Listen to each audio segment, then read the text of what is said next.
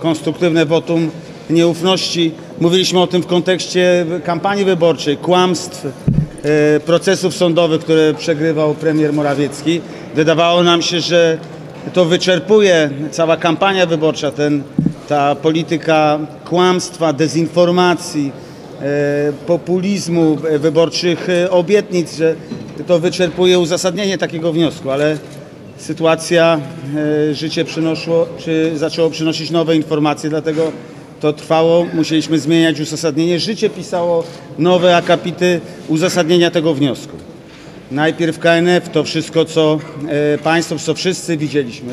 Największa afera ostatnich lat, e, której, na którą afera PiSu, e, afera, która pokazywała w jaki sposób można doprowadzać do e, upadku bank, jak można wpływać e, administracyjnymi metodami, żeby banki przejmować, żeby tworzyć pokusę ratowania publicznymi pieniędzmi prywatnych podmiotów po to, żeby po nas, następnym e, w konsekwencji tego móc je przejmować. Znamy te przykłady z innych e, krajów, wiemy, że takie rzeczy e, są robione gdzieś indziej, ale zobaczyliśmy to z bliska. Dlatego mówiliśmy tak e, kontrowersyjna, skandaliczna sprawa jak afera KNF. Relacja, reakcja służb na te wszystkie kwestie, a w zasadzie brak reakcji. Okazywało się, widzieliśmy to, że z Singapuru szybciej można dolecieć i dojechać do budynku KNF-u niż z siedziby CBA. E, Kwestia polityki personalnej, kadrowej, awansów czy też propozycji pracy dla rodzin e, prominentnych polityków PiSu czy też urzędników rządu. To wszystko widzieliśmy i dlatego bardzo twardo powiedzieliśmy, komisja śledcza powinna, powinniśmy zgodzić się na komisję śledczą, żeby nie prokurator z pisowskiego nadania, e, e, prominentny polityk koalicji rządzącej, e, Zbigniew Ziobro prowadził te postępowania, szczególnie, że przez pierwsze, ty, pierwszy tydzień, pierwsze sześć dni niczego nie zrobił w tej kwestii, kiedy miał informację o popełnionym przestępstwie, tylko właśnie parlament, komisja parlamentarna e, z dostępem, pełnym dostępem mediów mogła się tą sprawą zająć. Nie było odzewu.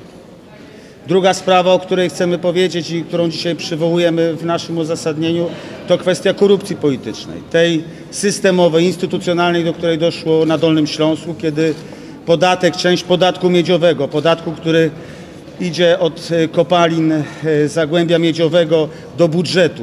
Część e, jest, kierunko, kie- jest wprowadzona czy przeprowadzona do budżetu jednego miasta, jednego miasta na Dolnym Śląsku, dlatego że szef tego miasta jest szefem bezpartyjnych samorządowców i może dysponować sześcioma głosami w Sejmiku Dolnośląskim. To jest polityczna korupcja.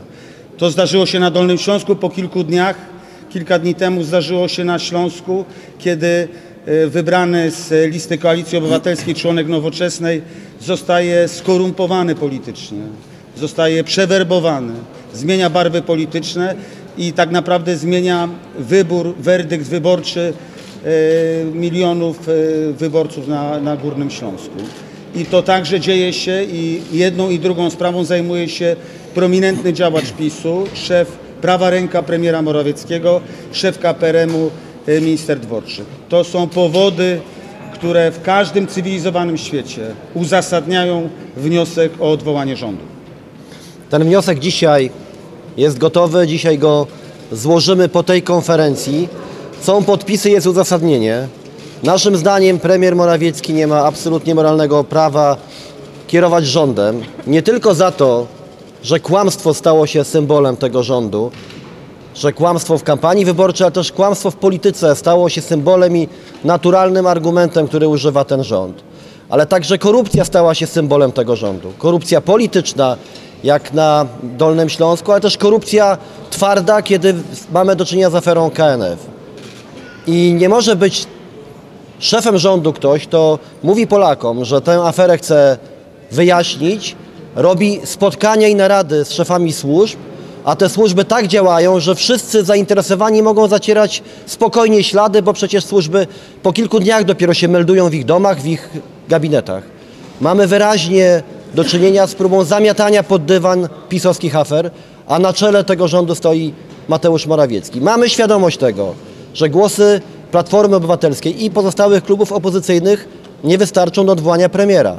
Ale przypomnę, Rok temu składaliśmy wniosek o odwołanie Beaty Szydło. Głosów nam zabrakło, ale tego samego dnia została odwołana.